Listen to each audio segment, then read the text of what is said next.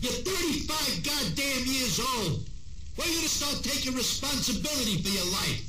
You fucked up all those baseball scholarships. You could have made something of yourself.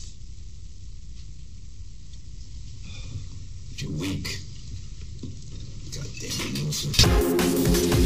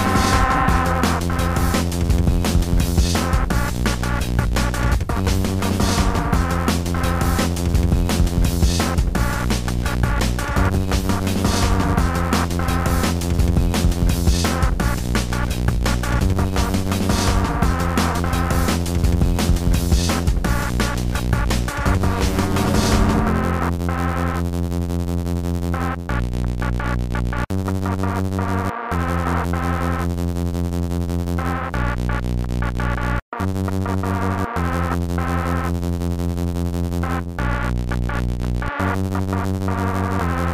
you.